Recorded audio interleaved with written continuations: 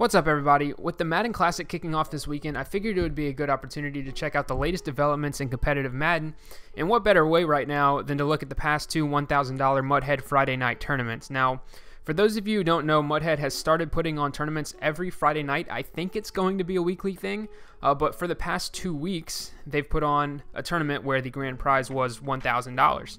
And so over the past two weeks, Hollywood and Strafin have come out on top of these brackets that are really full of talent in terms of guys who, you know, make live events, perform well, are always at the top of the online leaderboards and stuff like that. Now, Strafin and Hollywood, two household names in the Madden community, you know, they certainly put on a show and displayed why they are still world-class players here in Madden 19.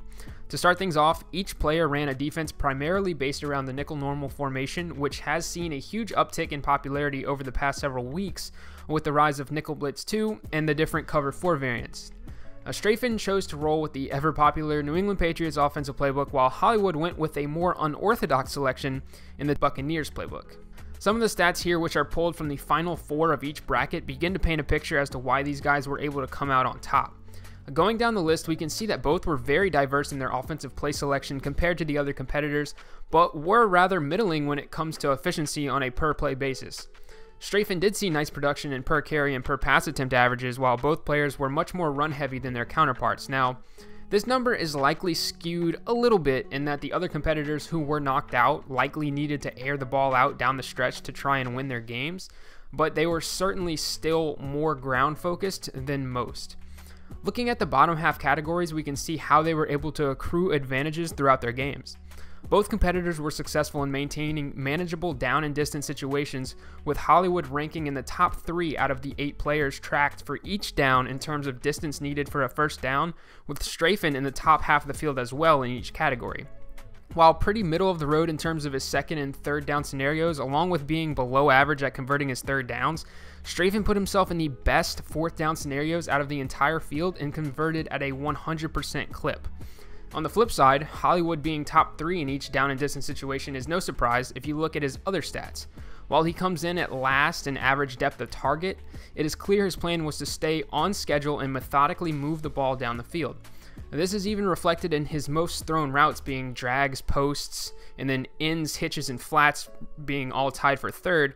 Uh, but pretty much all of those, besides posts, are generally shallow routes that thrive on taking what the defense is giving you. Now, this type of game management, coupled with them coming out at the top of the group in terms of turnover margin, as well, seemed to be a recipe for success. Now let's take a look at Hollywood's defense, which really set the tone early in his finals matchup with Clef. Now Clef to this point had looked like an unstoppable machine, and here he faces a fourth and short scenario and tries to flood the right side of the field with the Z-spot setup. Hollywood pulls out the perfect play call by bluffing a nickel blitz 2 setup pre-snap and falling back into what appears to be a cover 6. Now with the press deep quarter matching the corner route, the inside deep quarter running with the streak, and the nickelback shooting out into a hard flat to cover the zig, Clef really has no options. Now Hollywood remains disciplined knowing that he does not have to chase towards the sideline, protecting against a potential backside crossing route or a playmaker from Clef. Clef rolls right and attempts a playmaker, but Hollywood keeps his depth, allowing him to easily react. Clef has no option but to throw it up, resulting in an interception for Hollywood. Now on the flip side, Strafin was simply able to make plays when given the opportunity. In this case, he goes to a play in which he scored two of the three times he called it throughout the final four of the tournament.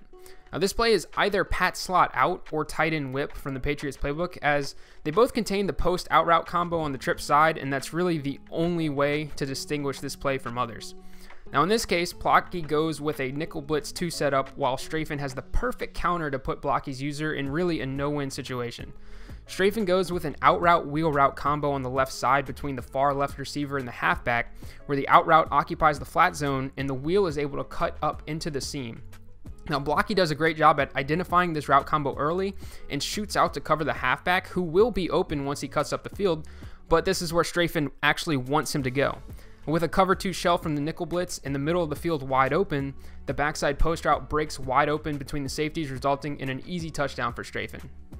Now, these were just a couple of examples of the playmaking potential of these two players centered around their timely play calling and capitalizing on opportunities, whether to score or take the ball away.